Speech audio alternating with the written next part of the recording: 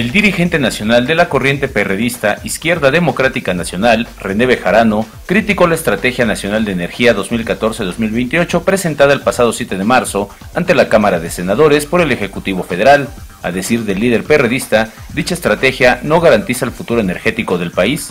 La Estrategia Nacional de Energía 2014 no es más que una descripción de la reforma energética aprobada el año pasado aunque señala que es consistente con la planeación del sector energético establecido en el Plan Nacional de Desarrollo, en el Programa Nacional de Energía 2013-2018 y en la Estrategia Nacional de Energía 2013 existen inconsistencias que tendrían que resolverse a raíz de la reforma energética.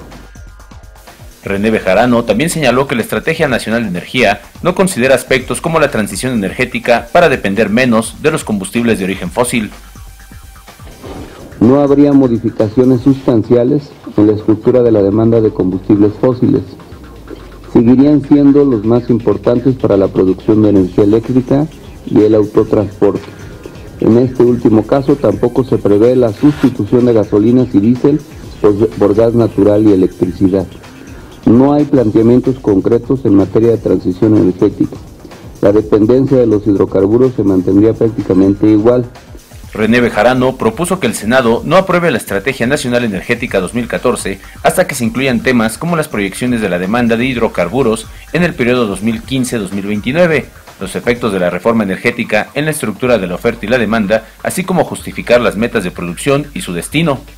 Proponemos que ante la presentación de la Estrategia Nacional de Energía 2014 no se debe aprobar por ser insuficiente como elemento de planeación futuro del sector energético. Para estar en posibilidades de analizar la propuesta es indispensable que la Secretaría de Energía presente a la consideración de la Cámara de Senadores una nueva perspectiva del sector para el periodo 2015-2029. Reportó para Noticieros Nuestra Visión, Antonio Aranda.